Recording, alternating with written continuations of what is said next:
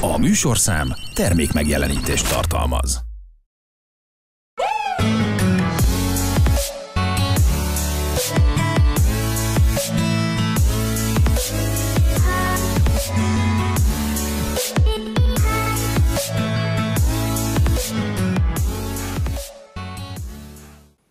Szeretettel köszöntöm Önöket, a Nálatok Mizut látják.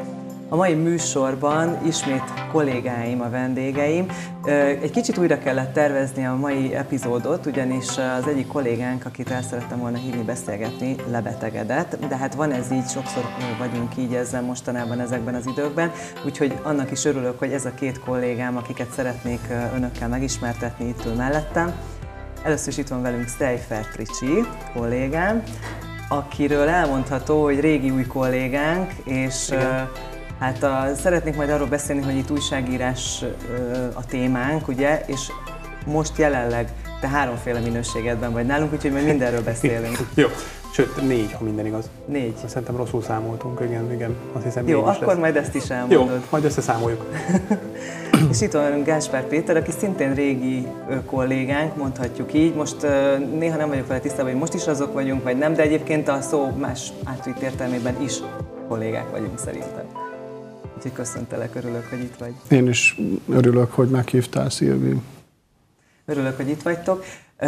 Ugye ezt a műsort elláttuk ezzel a címmel, hogy nálatok Mizu. Kezdjük is azzal, hogy nálatok mi újság van. Most, most hogy említettem a kollégánkat, aki nem tud itt lenni jelen pillanatban, ő is egy kisgyermekes apuka, Pontosabban most már kicsit nagyobb gyermekes apuka, és hát uh, nyilván a gyerekek most viszik haza a betegséget az iskolákból, nálatok is vannak gyerkőcök, mindenhol kettő van. Igen. Igen, uh, és nál, haza is vitték és a haza betegséget. Is vitték. Igen. Na, egy picit Igen. beszéljünk erről, hogy egyébként most ezt a betegséget leszámítva is nálatok mi újság van, hogy vagytok? Mi abszolút jó vagyunk. Mi is túl vagyunk ezen a kezdőbetegségen, amin egyébként nagyon meglepődtem, mert nagyon furcsa volt, hogy az első héten már a, klasszikusan, amikor elindult az iskola, azt a két napot szerintem azt ne számítsuk indulásnak, de hogy az mhm. első héten már így hallottam, főleg, hogy jöttek hozzánk kis vendégek, mert hogy nálunk mindig unatkoznak a gyerekek otthon, remélem mindenkinél így van, uh-huh. és akkor egyszer csak mikor megyünk értük, akkor már hirtelen közlik velünk, hogy te figyelj, én megbeszéltem a Noellel, hogy akkor most átjön. Igen, és az anyukája tud róla? Nem, de hát most beszéljétek meg. Tehát nagyjából uh-huh. nálunk így jön össze általában egy ilyen kis bandázás, és már ott hallgattam, hogy valaki köhög fönt. Mondom, nem az én gyerekeim, biztosan nem. És tényleg nem az én gyerekeim, na, két nap múlva már az enyémek is egy kicsit köhögtek, orfolyás meg egyebek, és most mi is ebből jövünk ki, hozzáteszem. De nálam azért más is volt, mert én voltam forgatni a hétvégén, és benti helyszínről ki kellett menni, de úgy, hogy közben esett az eső, és kabátot semmit nem lehetett fölvenni, úgyhogy nekem az azért betette a kaput. De hozzáteszem, gyorsan lekopogom keményen, három nap alatt a nagyján túl vagyok, se láz, semmi ilyesmi nem volt, tehát semmi komolyság. Ja, és teszteltünk, negatív vagyok, uh-huh. úgyhogy nincsen semmi igen. olyan. Egyszerűen csak egy ilyen kis felső légúti vacak. Hát igen, egyébként ma már tényleg így lehet bárhova is menni, hogy tesztelünk, meg a, igen. hát ugye a Gergővel beszéltünk, ugye Bácskai Gergő kollégánkról van szó, akit említettem, hogy ő nem tud most itt lenni, hogy tényleg ma már lehet, hogy mondjuk egy pár évvel ezelőtt simán elmegyünk egy kis köhögéssel bárhova, most meg már inkább azt mondjuk, hogy hú, inkább benetedd a lábad. De hát most sajnos így van ez most jól. Ti mennyire úsztátok meg itt a dolgokat? Nekünk is ezen a héten érkezett meg ez a, ez a betegség, amiről te is beszéltél. Nagyjából egy nap alatt átment a gyerekeken, úgyhogy, úgyhogy rutinosabb És a most szülőkön?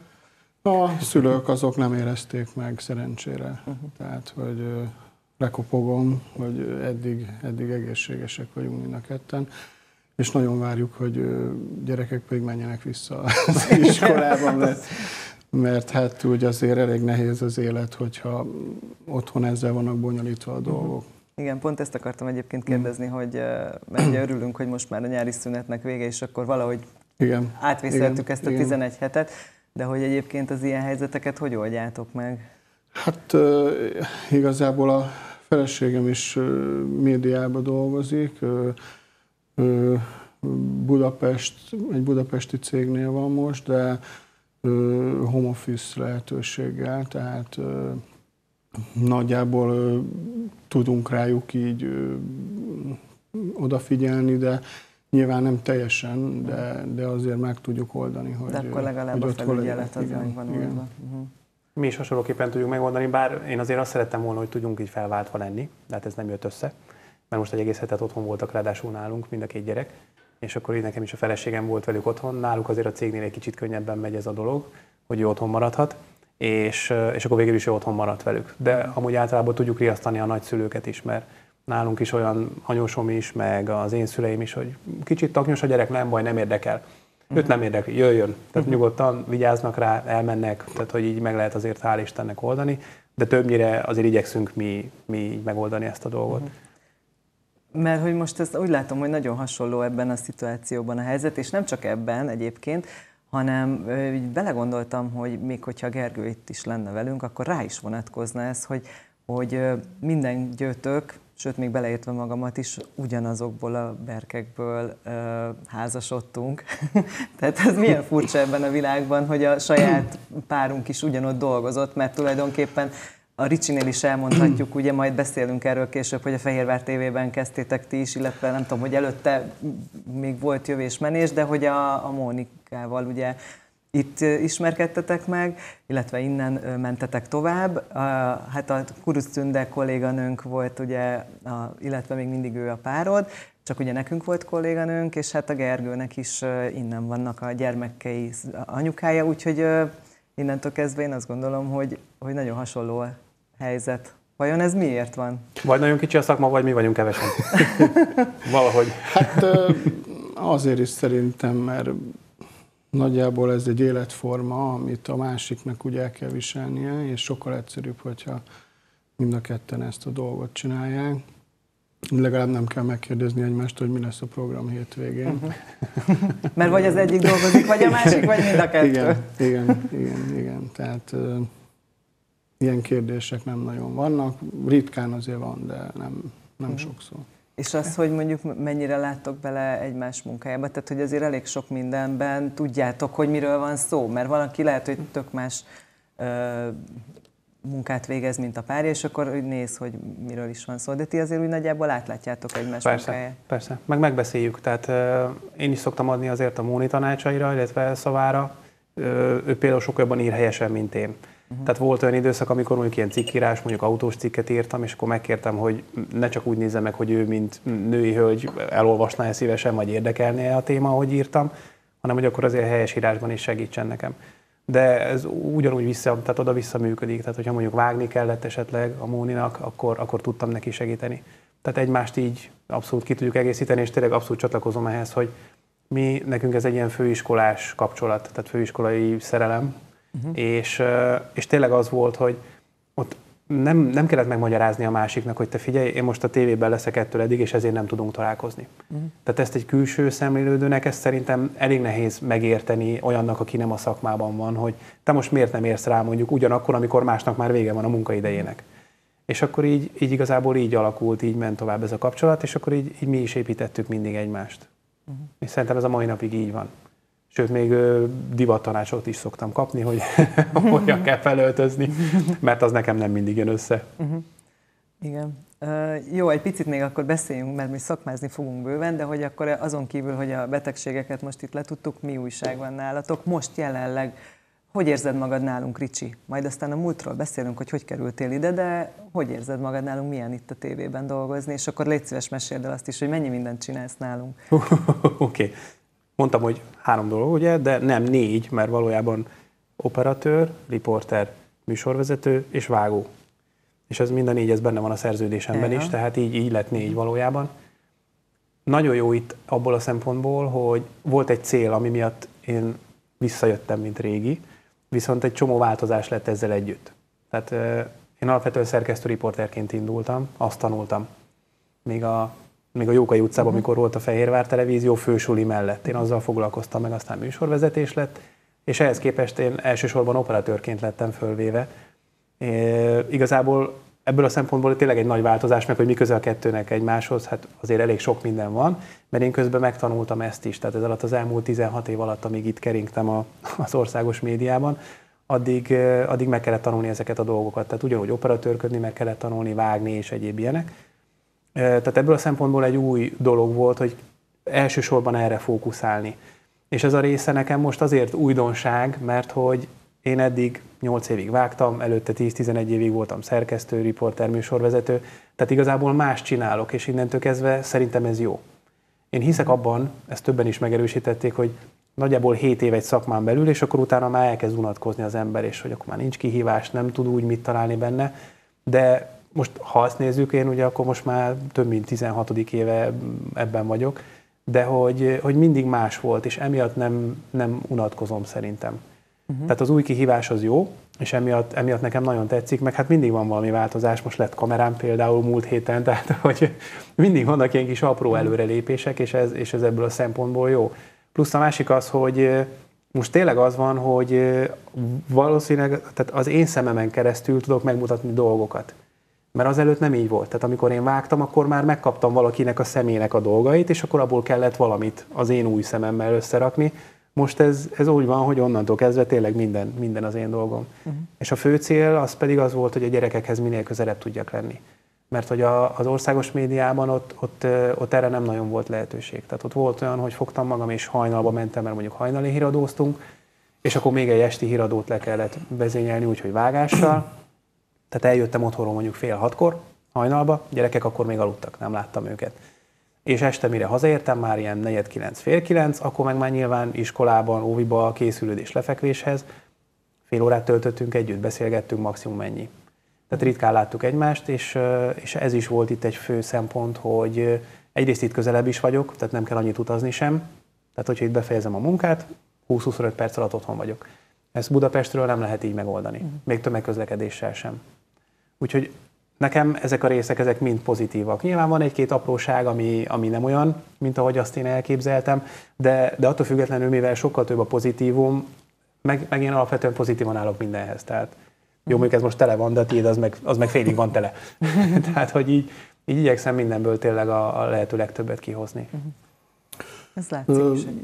Nagyjából nálunk is ugyanez volt egyébként a helyzet, mert a feleségemmel egy országos napilapnak a szerkesztőségébe ismerkedtünk meg Budapesten, és viszont a család alapításra már Fehérváron került sor.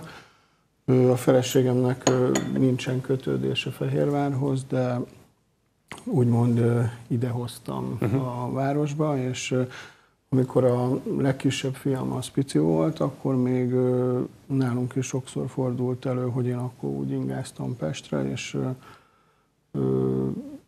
megvárt fél tizenegykor este, hogy találkozzunk. Igen. Tehát ez, ezek az élmények, Igen. ezek meg, megvannak. Igen, csak ez annyira rossz, legalábbis nekem. Tehát, igen, hogy nem igen, tudsz úgy részt venni az életükben, igen, és igen. valahogy az az apa dolog így a fejben, hogy igen, apának az a dolga, hogy előteremtse a dolgokat, hogy javakat, hogy ne legyen probléma anyának, hogy elmegy boltba, meg ilyenek. Tehát valahogy azt hiszed, hogy ez jó. És aztán utána, amikor koppansz egyszer-kétszer, legalábbis nekem ez volt, hogy, hogy úgy, ó, basszus, nem vagyok ott az első lépésénél. Nem vagyok ott, amikor kimondja az első szavakat. Nagyon szép, mert fölvette a feleségem telefonnal, ott van, meg tudtam nézni képen, meg videón. De hogy amikor nem, nem feltétlenül tudsz ott lenni, és akkor, akkor már valahogy más, akkor egy kicsit úgy átkattan, legalábbis nekem. Most, hogy nagyobbak, most egyébként, a, hogyha péntek délután, vagy szombaton, vagy hétvégenként van valami munka, akkor meg tudom magammal vinni őket, ami, ami szintén nagyon jó. Igen, abszolút. Tehát, abszolút. hogy igen, most már nálunk is akkorák, mert nekem is van egy 7 éves kislányom, illetve egy lassan 10 éves kisfiam, aki most nem volt például a hétvégén. Uh-huh. Elvittem szépen, ahol forgattunk, most látta az új kamerát ő is.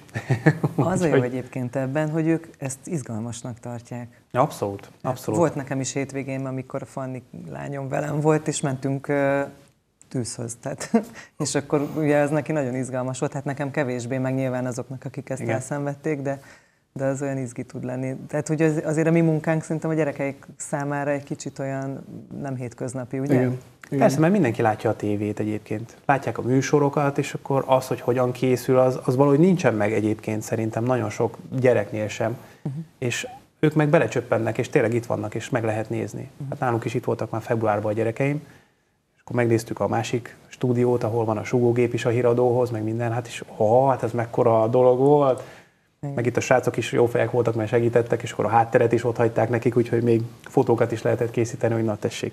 Uh-huh. Fehérvár televízió híradóját vezették. Hát meg a tévében levő ember az egy misztikum a gyereknek. Igen. Így van. Hát az, uh... Igen. Most még az jutott erről eszembe, csak egy gondolat erejéig, amit az előbb mondtál, hogy, hogy lemaradtál a gyerek lépéséről. Nálunk ugyanez volt, hogy a gyermekem édesapja azon a bizonyos március 15-én, amikor sokan a hóban rekedtek, akkor ő egész nap mm, nyomta a rádióban a műsort, és akkor állt fel, és nem, hogy felállt, elindult. Nem, akkor nem felállt, elindult a gyerkőc, és akkor egy videón küldözgettem neki én is. Tehát igen, hát nekünk ez a feladatunk, hogy ilyen fontos helyzetekben ott legyünk, ahol lennünk kell.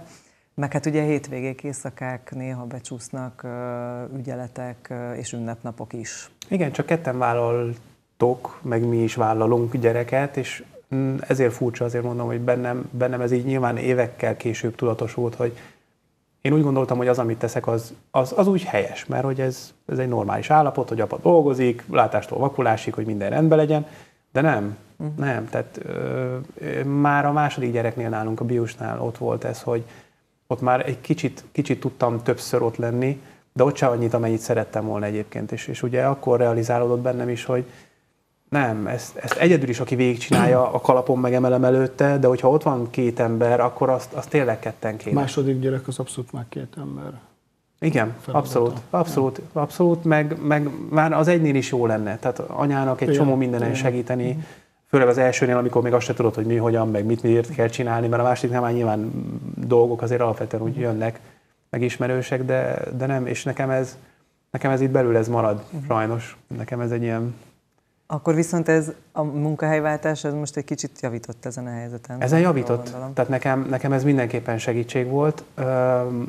A másik helyen annyiban volt másabb, hogy a, tehát a hétvégeket például ott azt mondtam, hogy nem megyek be hétvégén dolgozni, mert hogy külsősként dolgoztam, tehát nem belsősként. Ott akkor ebből nem volt probléma. És a, a hétvégéink úgymond így, így igazából szabadak voltak, de egy, megint egy másik országos tévécsatornánál, ott az senkit nem érdekelt, hogy szombat vagy vasárnap, főleg, hogy ott az egyik magazin az vasárnap, hétfőn és kedden vágódott. És én nagyon sokat voltam bent úgy, hogy vasárnap, és már mit tudom, ilyen 10 óra körül ott kellett lenni. Uh-huh. És akkor éjszaka értem haza, hétfőn vissza, mert akkor reggel folytatódott. Tehát na az a, az a, az a három év az volt egy kicsit, kicsit ilyen necces, és ott, ott, ott azért nagyon sok minden másképp sült el, mint ahogy, ahogy az kellett volna, de, de mondom, tehát én is észrevettem, és, és aztán mondjuk jött egy váltás, de, de ott a köztelévő másfél hónap az, az volt az, amikor tényleg így mondtam, hogy jó, én otthon akarok dolgozni. Hát mert ott vagyok. hogyha Székesfehérvárhoz köt minden, akkor az ingázás azért ez egy elég fárasztó dolog. Abszolút. Ö, én is egy, hát majdnem egy tíz évet ö, nyomtam ezt, uh-huh. ami úgy ö, megterhelő volt. Uh-huh. Abszolút. És most nálatok, Mizu, egyébként? Hogy vagytok? Ö, nálunk ö, igazából mondom, ö, feleségem ö, Pesten dolgozik, de elég sok home office lehetőséggel. Én továbbra is a székesfehérvár.hu-nál, ami pedig pont a Gergővel nézegettük, de hát most ugye nem tudunk vele erről beszélni, de hogy jövőre lesz az, hogy 20 éve vannak rajta napi hírek. Uh-huh. Akkor indult és, a székesfehérvár.hu? Igen, igen. Uh-huh. 2003 tavaszán töltöttük fel az első híreket, és gyakorlatilag ez az egész most már egy ilyen, úgy tekintünk rá, mint egy ilyen 21. századi várostörténeti archívumra, hmm. intézménytörténet, tehát bármi visszakereshető, nyomozható, politika történet, tehát ez egy ilyen nagyon sokszor van olyan feladatunk, ilyen háttérmunka, hogy valamit így kinyomozni, hogy ez mi volt, hogy volt, és tényleg nagyon könnyen visszakereshető minden. Tehát, uh-huh. hogy ez egyfajta ilyen történészi dolog is lassan már. Uh-huh. Tehát, és most hogy néz ki egyébként a székesfehérvár.hu, mert úgy nagyjából a Gergőről meg róla tudok, de ugye azért vannak kollégáink is, akik segítik a ti munkátokat. Igen, igen, hát hírfeltöltésben van, van segítség, igazából, illetve mindig kell ugye olyan ember, aki a, a sportot felügyeli, és hát nagyjából próbálunk mindenféle hírovatot megtölteni, tehát napi szinten, hétvégén is, tehát hogy ez azért úgy ad, ad feladatot.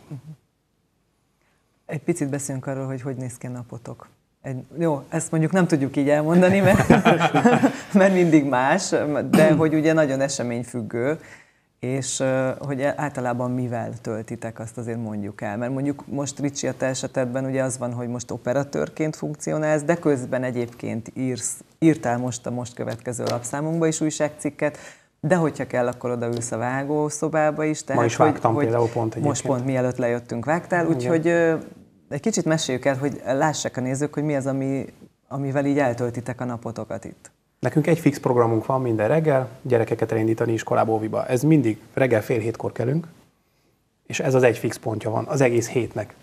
És az összes többi az mind ilyen randomszerűen jön. Nyilván nekünk a beosztástól függ, nappalos beosztás van, vagy pedig délutános beosztás. Ha nappalos beosztás van, akkor ahogy letettük a gyerekeket óviban, illetve most már nincs ovi, most már iskolás mind a kettő, letettük iskolába, akkor sújt mindenki a munkahelyére, és akkor igazából itt derül ki, hogy hány helyszínre kell kimenni forgatni, hány órára megyünk és miket csinálunk.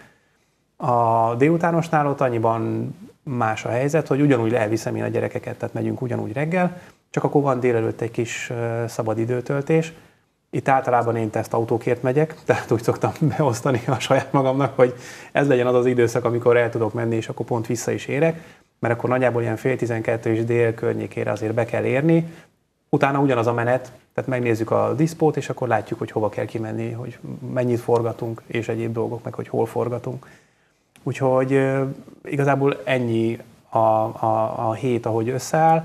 Most nyilván, mivel mindig más témáról forgatunk, innentől kezdve nem mondhatjuk azt, hogy ugyanaz minden napunk, mert, mert tényleg így hetente változnak ezek a dolgok, de, de hogy alapvetően nekem most ennyi. A vágás az meg amikor éppen itt be kell ugrani, tehát nem csinálom úgy, mint mondjuk a, a korábban az RTL-ben, hogy ott elsősorban vágással foglalkoztam, sőt elsősorban teljesen vágással foglalkoztam csak hosszú időn keresztül, ugye azt mondtam is, hogy 7-8 évig. És ö, itt most ilyen randomszerű, tehát most is az, hogy például forgattam a hétvégén egy anyagot, akkor azt úgy voltam vele, hogy akkor nyilván, ha már én forgattam, én skripteltem, én írtam a szöveget, akkor az nyilván evidens, hogy én is fogom megvágni, tehát hogy nem is szeretném kiadni a kezemből. És most egy pont egy ilyen fázis volt ma, hogy a szövegírás, az tegnap már megvolt meg a skriptelés, ma elfogadta a főszerkesztőnk, és akkor így lehetett összerakni az anyagot. És ehhez a hangodat is te mondtad? Vagy igen, is te mondtad? igen, tehát most már a hang is az enyém volt. Uh-huh. Korábban is, még, még amikor a Jókai utcában voltunk, tehát mikor még főiskolásként dolgoztam a tévében, már akkor is egyébként olvashattam föl uh-huh. szövegeket. Az más kérdés, hogy utána később nekem volt például beszédtechnika órám. Tehát mikor a Magyar tévében dolgoztam, én jártam külön beszédtechnika tanárhoz, ott addig nem is kaptam például mikrofonengedélyt, amíg a beszédtechnika tanárnő azt nem mondta, hogy uh-huh. hajrá. Ez igen. Jó, akkor sok lábon állsz, az biztos, és hát mondjuk mi, mi tényleg hálásak vagyunk azért, hogy visszajöttél hozzánk, mert ugye sok mindent rá Már örülök. nek örülök. De jó volt, mert tényleg olyan örömmel fogadott mindenki. Tehát az azért tegyük hozzá, hogy én amikor elmentem 2006-ban, akkor államvizsgáztam, és én akkor kerültem a magyar televízióhoz először. És, és akkor, amikor elmentem, igazából szerintem a 70-80 százaléka az embereknek az még most is itt van. Uh-huh és, és annyira jó volt itt találkozni, de hogy, hogy tényleg volt, akinek még az arca sem változott, tehát mm. hogy, hogy olyan, olyan jó volt tényleg. Emlékszem, mikor novemberben jöttem először tárgyalni, hogy akkor mi lesz, hogyan lesz, és akkor körbesétáltunk a newsroomban, meg most láttam először igazából én ezt az új épületet, én, én azelőtt nem láttam ezt akkor rögtön, jaj, szia, hát te, jaj, szia, hát te, ó, te jó Isten. Nekem meg csak a hajam lett kevesebb egyébként, de... Érdekes, én is 2006-ban kerültem Pestre. Uh-huh. Na, milyen kicsi a világ. Hát azért mondom, kicsi ez a szakma, igen, nagyon, igen. nagyon kicsi. Peti, egy kicsit más világ az online szerkesztés, mint mondjuk a televíziózás, de azért hát az újságírás itt is ugyanúgy megjelenik, sőt, Kicsit meséld el, légy szíves, akkor te is, hogy most jelenleg amivel foglalkozol, hogy néz ki egy nap? Hát, hogyha egy ilyen déli rutint kell mondani, akkor nálunk is a fél hét, fél hétkor kelünk, akkor utána olyan 7 és 3-4-8 között a reggeli híreket a honlapon a Gergővel együtt rendbe tesszük, és akkor utána elviszem a gyerekeket a óvodába, iskolába, hova, és akkor utána általában újra haza, megnézem, hogy addig milyen munkagyűlem lett fel, azt megcsinálom, Sajtótájékoztatókra általában sajnos mindig délután járok, tehát ez az ilyen négy-öt óra van, hogy hat, tehát általában ez, és akkor azt ugye utána meg kell írni, tehát és akkor más a 80, és akkor viszont együtt vacsorázni azért jó dolog. Tehát akkor azt úgy megvárjuk, és akkor és akkor ilyenek. És akkor utána még folytatjuk igen, a munkát. Igen. Uh-huh. Azért nektek nagyon, na jó, újra kezdem a mondatot, mert nem csak, hogy nektek, de nekünk mindannyiunknak elég felelősségteljes a munkánk. De azt gondolom, hogy azért ott a tűz közelben lenni, inkább ott az önkormányzat környékén mozgolódni azért elég sok figyelmet igényel. Erősíts meg. Mondjuk a tévében dolgozni is ugyanez, csak hogy, hogy ott azért tényleg ti nagyon sokat az önkormányzat munkájától is függtök.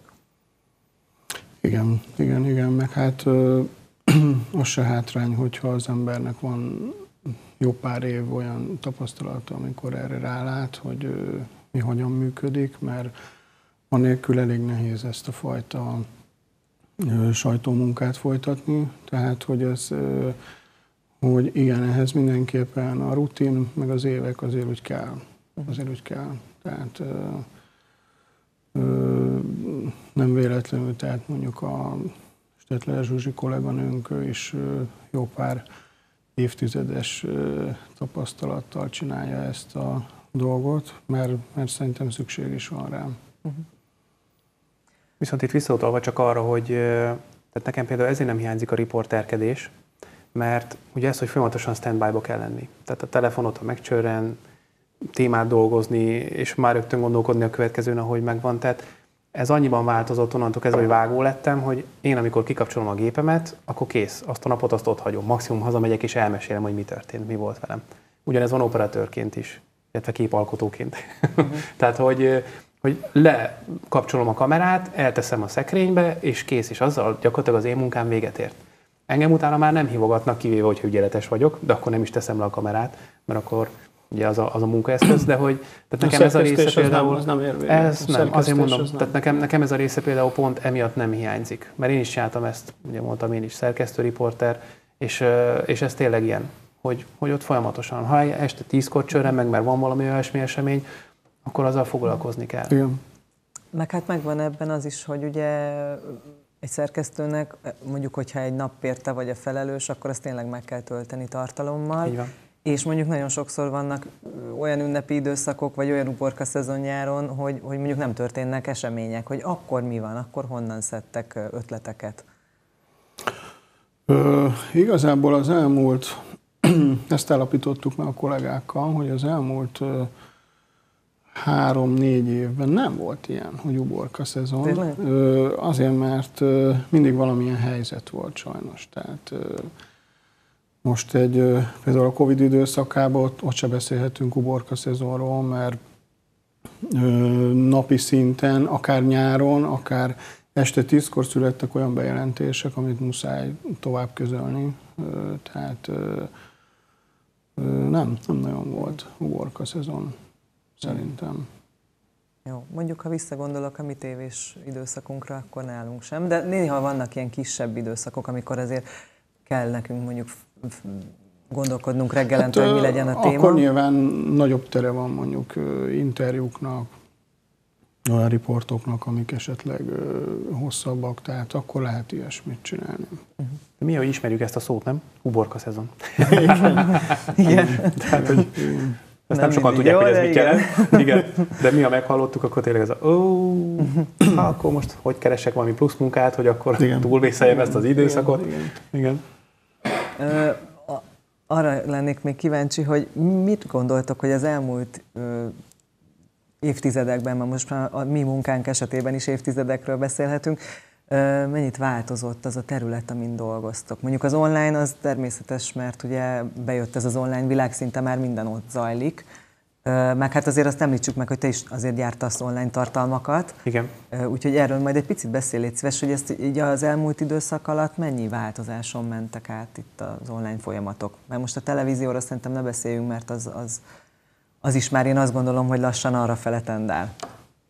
Abszolút. A minél rövidebb tartalmak, most én azt vettem észre. Tehát az, azok nagyon mennek. Tényleg ilyen, van, hogy csak ilyen pár másodperc. Tehát, hogy lényeg az, hogy valami olyan történjen, és nem is kell feltétlenül beszélni. És, és ezeket most annyira, annyira gyorsan eszik és viszik, és egyéb ilyen dolgok. Az biztos, hogy én most így nagyon sok tapasztalatot gyűjtöttem szerintem az elmúlt években, mert mi a testvéremmel közösen belefogtunk egy, egy ilyen autós blog és vlog oldalt, hogy készítsünk, mert én ezt úgy gondoltam, hogy ez majd milyen jó lesz ilyen kiegészítőként, tehát a, a főállás mellett. Na most azért be kellett látni, hogy ez azért nem így működik egészen. Onnantól kezdve, hogy főleg, hogy a technikát, mindent azt mi fejlesztettünk. A testvérem készítette a weboldalt, tehát tényleg így saját forrásból, és akkor azért ez így egyrészt lassabban is megy, de legalább cserébe egy csomó dolgot meg lehet tanulni. És, és nagyon jó volt, mert jó, volt egy-két olyan komment is, amikor tényleg így vérlázító volt, hogy milyen stílusban és egyéb, de aztán én eldöntöttem, hogy ami jön, én arra válaszolni fogok. És nyilván volt, hogy nyeltem kettőt, és akkor végig gondoltam, hogy na erre hogyan kéne reagálni, meg egyéb dolgok, és általában volt, hogy egy, egy egészen kerek beszélgetés jött ki egyébként ezekből, az egyébként pocskondiázó hozzászólásokból. Tehát alapvetően én mégis azt érzem, hogy aki mégis elbújik, mert nem állott személyesen velem szembe, de leírni lemeri ezeket a dolgokat, ha, ha egy normális stílusban, és tényleg úgy, úgy megpróbálsz érdeklődően fordulni felé, hogy de mégis azért segítsen, azt tud építeni. És, és ebből igyekeztem én is inkább tanulni. És nagyon sok ilyen tapasztalatot, de hozzáteszem, én másoknál is elolvasom. Tehát, hogyha találok egy olyan videót, mert, mert azért az internet népe főleg az, az rendesen szeret osztani, és, és egyébként tényleg jó dolgokat írnak le egy csomószor, tehát hasznos ilyesmikbe is foglalkozni, és, és azért mondom, hogy alapvetően ezekből össze lehet gyúrni már egy olyat, ami, ami szerintem emészthető és fogyasztható. Nyilván egy televízióban azért vannak kötöttségek. Nem mindegy, hogy közszolgálati vagy hogy kereskedelmi tévéről beszélünk, onnantól kezdve a stílus is olyan kell, hogy legyen. A, nyilván ez így van az online felületeken is azért, mert vannak bizonyos olyan tartalmak, ahol nem engedhetünk meg magunknak egy ilyen lazább stílus, egy kötetlenebb stílust. Tehát vannak bizonyos szabályok, amiket be kell tartani. Ezek nem változtak egyébként, azt hozzáteszem szerintem az utóbbi 15-20 évben. Tehát egy, egy PR cikk az nagyjából mindig ugyanarról szól, vagy egy politikai cikk ugyanolyan stílusban íródik. Nem lehet kilépni bizonyos határokból.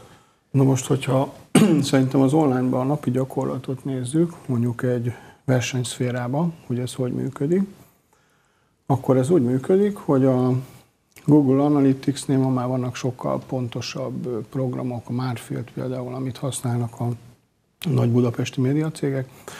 Ez megmutatja a szerkesztőnek, hogy hoppá, a célt most nem tudod ebbe az egy percbe teljesíteni, mert kevesebb ember van az oldaladon, mint ami a célkitűzés. És akkor mit kell csinálni? Akkor akármit találni, bármilyen hírt találni kell, aminek tudsz adni egy olyan címet, amire Igen, rekattintanak. rekattintanak. Megpróbálod, nem jön be, azt már tudod egy, egy 20 percen belül, hogy na, ez nem jött be. Akkor van másik. Akkor még valamit elő kell húzni. Tehát, hogy itt gyakorlatilag úgy, úgy működnek ezek a versenyszféra, mint a tőzsdeügynökök ülnek, monitornál nézik a grafikont, Igen. és hogyha esik a grafikon, akkor kétségbe esettem valamit csinálni kell.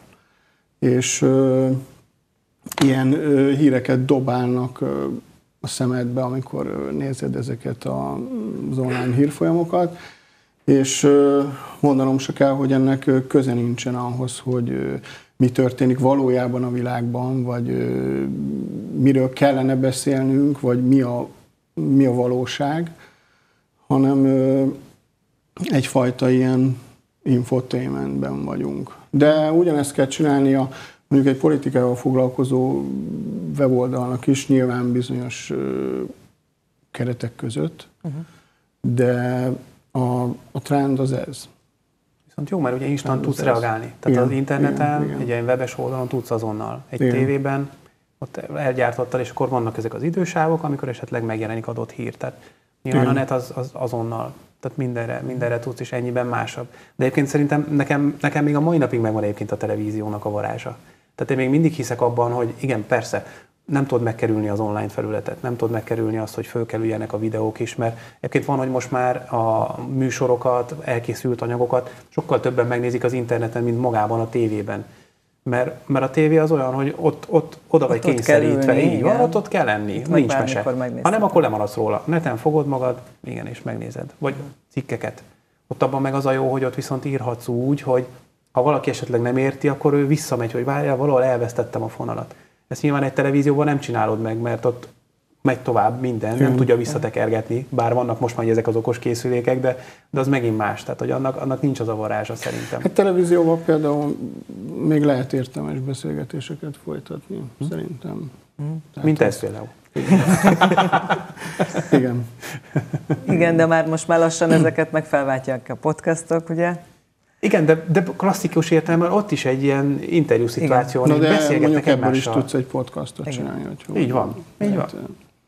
Fejlődünk, majd haladunk előbb-utóbb. No, egy picit még akkor kanyarodjunk vissza arra, hogy, hogy honnan jöttetek, és hogy kerültetek ebbe a helyzetbe, ahol most vagytok, mert ugye elég érdekes Meghívtál. volt.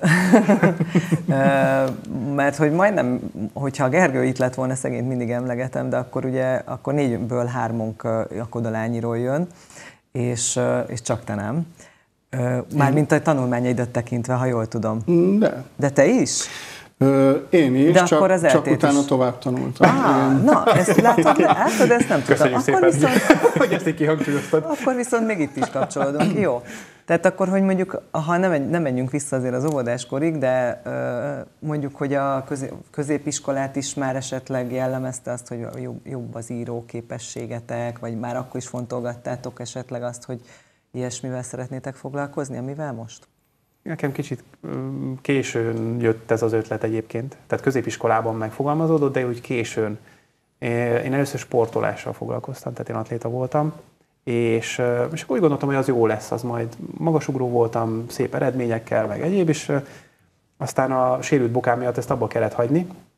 Viszont mellette nagyon szerettem az irodalmat például középiskolában, és nagyon sokszor voltak, hogy ilyen kis előadások, meg kellett tanulni szöveget, sőt volt olyan, emlékszem, hogy egy komplett előadásnak én voltam a házigazdája, de rendes szöveg volt, tehát le, kellett, le, le volt írva a szöveg, és előadás előtt közölték, hogy ja, hát ezt a papírt azt nem viheted ám magaddal, nem olvashatod. Ó, mondom, de jó. De mivel addigra annyit gyakoroltuk, gyakorlatilag tényleg megvolt minden egyes szó, és nem, nem volt belőle semmi probléma. És akkor volt, ezután az előadás után konkrétan, hogy odajött az igazgatónő, és akkor azt mondta, hogy Rihárd, maga olyan ügyes volt, magának a színpadon lenne a helye. És akkor mondtam is, hogy jaj, ne, ne, tessék már mondani, mondom, nem, nem, nem.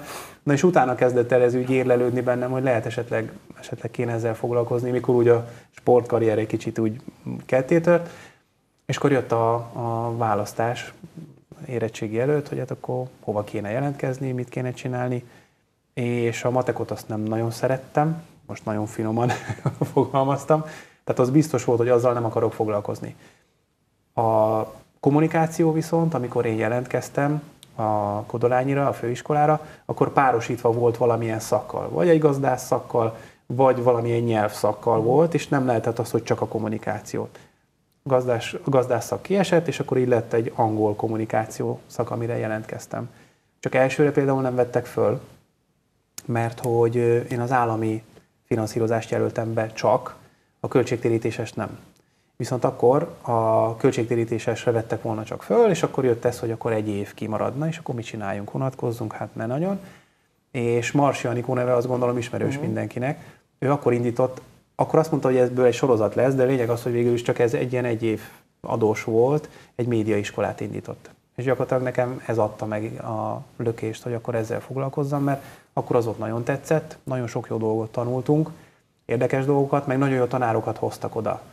E, Nekem voltak rendes filmes, tehát akik már akkor dokumentumfilmeket forgattak, rendeztek, tehát hogy ilyen emberek tartottak nekünk előadásokat. És nekem akkor ez a világ ez így nagyon megtetszett. És akkor így, így lendültem én tovább igazából. Közben fölvettek a főiskolára, azt hozzáteszem, a következő évben, és milyen érdekes, hogy Dezső István volt, aki felvételiztetett engem a főiskolára, és, és akkor már, már ő látott bennem egyébként egy csomó mindent, hogy szerinte, szerinte érdemes lesz velem foglalkozni, és mikor elkezdtem a főiskolát, ő volt, aki konkrétan bevitt engem a Fehérvár televízióba. Megkérdezte, hogy van-e kedvem foglalkozni a tévézéssel, mondtam, hogy nagyon szívesen. Most ráz a hideg, mert engem is egyébként. Ugye? Engem is tanította Dezső Pistán. Igen? Na, úgyhogy, Igen. Ő is egy ilyen közös pont akkor ezek mm. szerint. És akkor nekem így indult a Fehérvár tévés karrier, hogyha ezt mm. lehet így mondani, hogy főiskola mellett folyamatosan. Hát én nekem, mm, ugye Pócos Tibi most sajnos ugye nemrég ment el innen a csapatból, én nagyon sokat utaztam vele például, tehát hogy én nem úgy csöppentem be itt a tévés dolgokba, hogy na, akkor rögtön kimész és forgatsz és riporter vagy, hanem, hanem tényleg rendesen jártam ki a riporterekkel, ültem a Pócos Tibinek hátul, mert ő egy dobozos kocsival járt, télvíz idején emlékszem, ott ültem a kameratáskán hátul, és így néztem, hogy hova megyünk forgatni, így a kis rácson keresztül, mert csak két személyes volt az autó, tehát jártam ki például forgatásokra, együtt skripteltem akkor utána a riporterekkel, tehát tényleg én csak kávét nem hordtam, mert azt nem kellett, de hogy, hogy tényleg én az alapoktól kezdve kezdtem el megtanulni ezt az egészet. Uh-huh. És akkor ez aztán úgy, úgy gördül tovább. Aztán utána már ilyen nagyon nagy kör lett egyébként a Na, még azért mesélj erről a körről, mert ugye volt a Fehérvár TV. Fehérvár TV-ben dolgoztam főiskola alatt, ott már folyamatosan, és uh, mikor államvizsgáztam, Vakler Lajostól kaptam a lehető legjobb útra valót egyébként azt hozzáteszem, mert mikor vége lett a főiskolának, akkor engem fölvettek a magyar televízióba, de először még csak gyakornoknak. És a, az M2-höz kerültem a határon túli műsorokhoz. És mikor elbúcsúztunk, akkor a Lajos azt mondta nekem, hogy nagyon ügyes vagy, nagyon szépen csinálsz dolgokat, de hidd el nekem, hogy most fogsz majd tanulni igazán. És abszolút bejött. Tehát az, hogy egy szövegírás teljesen másképp működött, meg egyéb dolgok, tehát utána kezdtem el tényleg én nagyon sok mindent megtanulni magáról a szakmáról is. És akkor a Magyar tévében először volt ez a határon túli műsorok, meg gyakornokság, aztán utána az M. Kis Csabáikhoz kerültem, amikor a Kékfény új csapattal indult, még mind, szintén mind gyakornokként, és, és akkor aztán ott ez a rossz időben, rossz helyen, gyakorlatilag két év után, amikor volt ez a nagy kirúgás hullám, azzal együtt én is kikerültem a magyar televíziótól, és akkor én így kerültem az RTL-hez, és akkor viszont így jött az autózás, mert hogy a, az akkori autós műsornak a, a stábját, érdekes módon az egyik kolléganőm, ő már oda került a céghez, és már vele beszélgettünk korábban egyébként a Magyar Tévében, hogy hát én nagyon szeretem az autókat, még milyen jó lenne foglalkozni, és szóltak, hogy hát nincs kedvem esetleg menni. Na és akkor így indult a, úgymond az RTL-es pályafutás, először mint külsős cég, tehát mi külsős cégként gyártottuk a, a műsorokat folyamatosan, és nekem így kellett közben megtanulni vágni. Tehát emiatt jött a vágás egyébként, mert az utolsó évben, amikor tehát egy bizonyos vágóprogramon vágtuk mi magukat, magát a műsort, ott lett befejezve a műsor, és ezeket a vágógépeket, ezeket elvitte egy új produkció, ami indult. És így nekünk meg kellett tanulnunk a szerkesztő társammal vágni. És akkor onnantól kezdve egy csomó mindent én autodidakta módon tanultam meg, hogy hangot hogyan kell keverni, mert nekünk csak az alapokat mutatták meg. De hogy engem ez annyira nem jó szó, hogy idegesített, de hogy zavart, hogy én ezt nem tudom megcsinálni, és akkor elkezdtem foglalkozni vele, és akkor én így lettem egyébként idővel vágó is az RTL-ben, hogy megkérdezték, hogy van-e kedvem csinálni, mondtam, hogy van kedvem. És aztán 7 évig vágtam az RTL-ben, illetve volt közte egy, egy hírtévéskör is, ez megint egy ilyen érdekes, hogy 2016-ban oda felvettek belsősnek. És, és akkor ott voltam vágó, egy év után napi vezető vágó lettem, és akkor így, így folyamatosan uh, showműsor, uh, illetve hát ott nem voltak showműsorok, de hogy ilyen, tehát ilyen lazább, kicsit kötetlenebb műsorok uh, vágásával foglalkoztam, akkor pont amit említettem is, ami hétvégi vágás volt, a bűnügyi magazin, azt is készíthettem, híradós anyagokat vágtam, tehát ott is volt nagyon sok minden. 19-ben történt, ami történt, ott is útilaput kapott mindenki. Tehát valahogy az az érzésem, hogy időnként, nem hogy időnként, tehát valamiért ez ilyen periódikusan így előjön, hogy a rosszkor, rossz helyen. És valahogy így mindig így, én mindig ott vagyok ezeknél. És aztán, és aztán így egy kicsit időre visszamentem az RTL-hez, de ott még mindig külsősként dolgoztam, tehát külsős vágóként, és akkor most itt vagyok. 2022-ben, januárban elkezdtem uh-huh. újra a Fehérvár televízióban 16 év után. És akkor mellette megteszteled az autókat? Igen, az folyamatosan van. Igen, ez egy, ez egy nagyon, jó, nagyon jó dolog. Egyébként nevezhetjük hobbinak is, elég költséges hobbi, de, de, de alapvetően, alapvetően egy nagyon jó dolog, igen, mert picit, picit lehet mással foglalkozni, tehát amit szeretek. Tehát nekem az autózás, ez, ez mindig. És, és ez jó, és ez jó. Tehát, hogy van egy ilyen önkifejezési forma is. Úgy gondoltam, hogy amit esetleg csinálok, az, az annyival másabb lesz, hogy, hogy annyira érdekes lesz. Az egy döcögő sem megy, de mindegy, azért mondtam, hogy nagyon sok mindent lehet tanulni ezekből a, ezekből a dolgokból, és hát nyilván szívesen csinálom. Peti, akkor a kodolányra visszakanyarodva. Nem is a kodolányra, hanem a, ugye, hogy ilyen írás, meg kommunikáció. Ö, tehát, hogy már nyilván azért kerültem a kodolányra, mert a Vasvári Pál gimnázium szerintem az volt a legmeghatározóbb. A, hát akkor olyan kaliberű emberek tanítottak ott, mint a Román Károly, Sobor Antal, hmm. hogy más nem mondjak. Tehát, hogy az gyakorlatilag az egy, az simán egy főiskola vagy egyetemi szint volt a humán tudományokból, szerintem, annak, aki erre fogékony volt. És aztán ö, szerintem valahogy még a Kodolányra is a román tanár úr ö, ö, révén került képben nálam a Kodolányi, mert a, amikor alapul, alakult a Kodolányi, ezt nagyon kevesen tudják, hogy a román tanár úr dolgozta ki a, a úgymond az oktatási programját, uh-huh. a, vagy részt vett a, az oktatási programnak a kidolgozásában.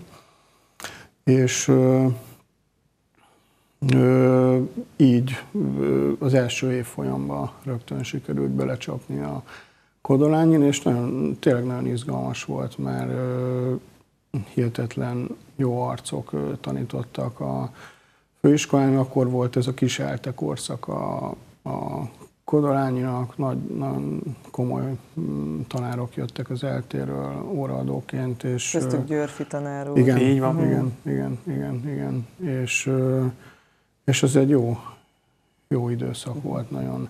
És utána pedig dolgoztam is ott Kodolány János főiskolán, mm, komtanszéken, hogy mikortól. És mint mi? Mm, hát az volt, hogy ugye a, az ország első vidéki online hírportáját, azt ott csináltuk meg. Az volt a neve, hogy Alba Mag. Uh-huh. És ez gyakorlatilag, ez gyakorlatilag, gyakorlatilag ez ilyen gyakorló portál volt a kommunikációs szakosoknak, hogy az online újságírásba így a szárnyaikat próbálgat, próbálgassák. Uh-huh. Tehát ez, ez 2009-ig dolgoztam ott egyébként. A 2009 meg már rémlik, hogy azért ott már talán már előtte is itt voltál, nem? Tehát uh-huh. a. Jókai utcában már te dolgoztál Ö, előtte. Nem, nem, én igazából én a Félvár Média Centrumban szerintem olyan 2010 után uh-huh. ö, kerültem munkakapcsolatba, tehát én addig nem. nem. Akkor miért van nekem olyan emlékem, hogy hát, a Jókai azért, mert szerintem, szerintem azért, mert ö, sok barátom dolgozott itt, és uh-huh. ö, velük lógtam. Ja, vagy, tehát én a staff, vagy uh-huh. nem tudom, ilyen izé. No jó, akkor 2010 től már a Fehérvár Média Centrumban dolgoztál, de úgy nagyon sok tévézésre nem emlékszem. Azt tudom, hogy néha-néha, amikor egyébként most is vagyunk, úgy ezt a nézőkedvéért mondom, hogy ha mondjuk választás van, vagy nagy Isten, van egy csapatépítő tréning, ami részt kell vennünk, akkor bevetjük a székesfehérvár.hu-s kollégákat, akik bejönnek, és aztán levezénylik helyettünk a napot, meg összeállítják a híranyagokat. Mondjuk erre ritkán kerül sor, de azért tehát nem áll távol tőled Ki a tévézés. Ilyen, igen, igen, igen. De szerintem így mindenki jobban jár, hogy így ezt így... Hát akkor írni jobban szeret. igen, uh-huh. igen. És hát akkor azóta ezt csinálod, de azért volt egy kis pesti rész is. Ö, igen, ö, tíz évig ö, külső a metropolnak. Uh-huh. 2006-tól tízig úgy intenzívebben, és utána még egy 5-6 évet úgy ö, már úgy látosabban. Ez milyen korszak volt? Ez is egy nagyon jó korszak volt, főleg nagy tudású kollégákat ismerhettem meg, illetve ez egy közös pont, hogy én is ott kerültem bele a autótest bizniszbe, és ez igazából nagyon sok repülőjegyet, meg nyugat-európai városlátogatás jelentett, úgyhogy... Ahogy Ricsinek is? Igen, úgyhogy hát ez, ez, ez, egy, ezért, ez egy jó része ennek a jó része volt ennek a szakmának. Igen. Abszolút, abszolút egyetértek. Tehát nekem is emlékszem az első útra, és akkor mondták is, hogy figyeljetek, most ne arra úgy, de most már, most már kénytelen vagyok elküldeni téged is külföldre, és akkor mondtam, hogy jaj, de rossz, de rossz. És tényleg ö, csodálatos helyekkel jársz, és akkor mindig azt mondod, hogy fú, basszus, ide a családot el kell hozni, de hát arra nyilván soha nem lesz pénzed, hogy a, Igen, és marad a zselic. a családot oda bepakold, és ezért ö, csak amit neked fizetnek repülőjegyet, azzal tudod ezt így Igen. megnézni. De Igen, csak pont ma jutott eszünkbe egyébként, mert ma- beszéltünk erről a, ezekről a külföldi utazásokról, hogy tévésként és autós újságíróként is más ezeken részt venni. Mert tévésként neked felvételt kell készítened. Tehát nem az, amit a, a, aki tényleg csak egy cikket ír, hogy jó, ők is készítenek, mit tudom én, 80-100 fotót, és akkor abból válogatnak, de ők szépen levezetik a tesztútvonalat, kipróbálják tényleg autósként milyen jó. study, nem? Tehát, hogy egy ilyen... De hát ilyenkor mi mindig ketten mentünk például. Tehát volt egy operatőr, aki velünk jött, és aztán te meg aki vezetted. És nekünk tényleg ez van, hogy a tesztútvonalat még csak töredékét se vezeted le, mert nekünk ugye forgatni kell az autóval, és tényleg mész, meglátsz egy nagyon szép helyszínt, hú, na jó, akkor itt most ezért gyorsan felvétel, közben ott megy el melletted az összes többi autós újságíró, és így integetnek, hogy hello, hello, hello. Tehát nagyjából így. És estére mindig vannak fix programok, meg a Igen. vacsora, a prezentáció, meg Igen. ilyenek. Tehát azért mondom, hogy de, de voltak tényleg, akik nagyon rendesek voltak, tehát hozzáteszem, mindig mindenki készült arra, hogy tévéstáb, és úgy, és akkor nektek külön autó, gyertek, figyelj, szerveztünk nektek, figyelj, tudsz fártolást készíteni, hoztunk nektek egy másik autót, tehát mindig azért igyekeztek odafigyelni, csak azért mondom, hogy azért ezt is meg kellett tanulni, hogy egy ilyen külföldi út az, az azért igenis más. Egy tényleg, aki csak ír, meg aki, aki mondjuk a tévébe dolgozza föl. De hát ez, ott tanultuk meg ezt a kifejezést, hogy ott maradt sajnos egy pár snitt, uh-huh. amit nem tudtunk fölvenni, mert már hát idő hiányában húzzunk bele. Uh-huh. És ez mai napig is kitart? Van még kap- kötődésed ehhez? Nem, nem, nem, nem, nem. Ez a, hát a, az akkori metropol megszűnésével megszűnt ez a lehetőség. De gyanítom, hogy így az autók iránti szeretet az megmaradt. Ö, igen, igen, bár én soha nem voltam akkor a szakértő, meg rajongó sem, mint szerintem mondjuk a Ricsi, de... Én sem vagyok szakértő, de rajongó, igen. De, de mondjuk tényleg, tehát megismertem olyan újságírókat, akik tényleg arra jók ebbe a Igen, témába, és, abszolút. és ők mindent tudnak erről. Tehát, hát ennek nyilván van egy ilyen gazdasági vetülete is, tehát erről azért el lehetne beszélgetni. Igen, ez, ez tényleg egy külön Ja. téma lehetne egyébként egy ilyen autós dolog is, mert Igen, igen. nagyon sok minden van benne. Meg hogy miért mindig Spanyolországba mentünk.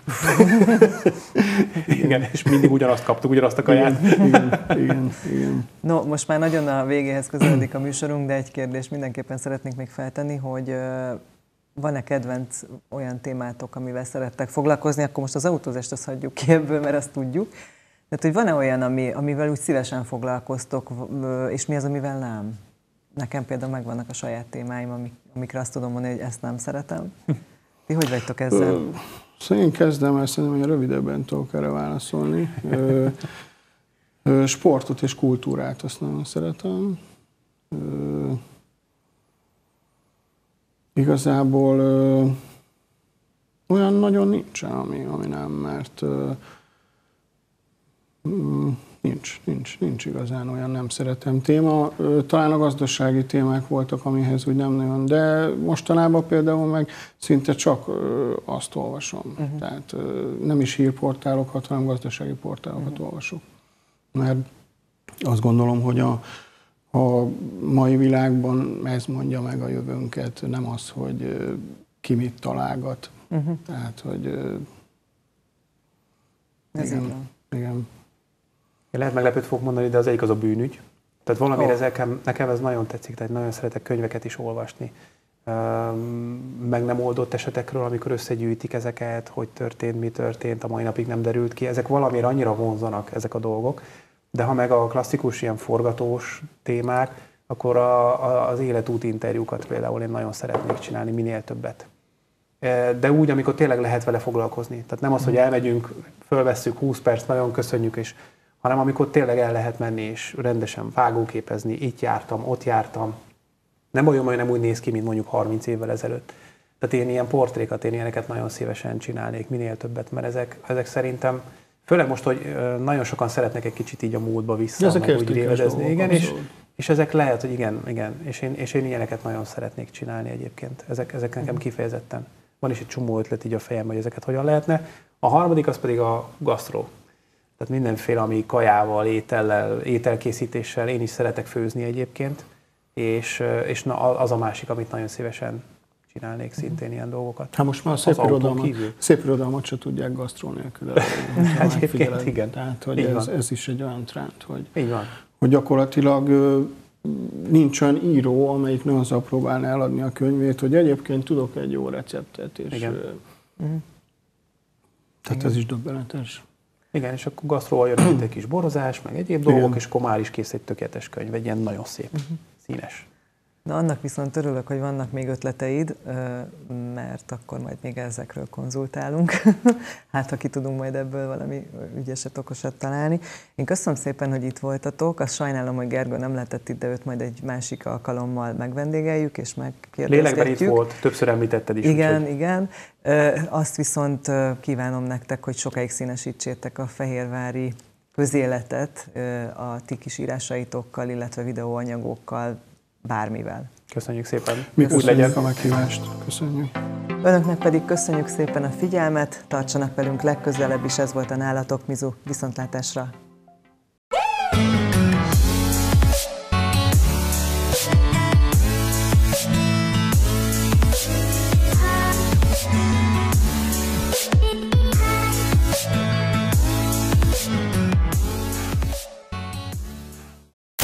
Műsorszám termék megjelenítést tartalmazott.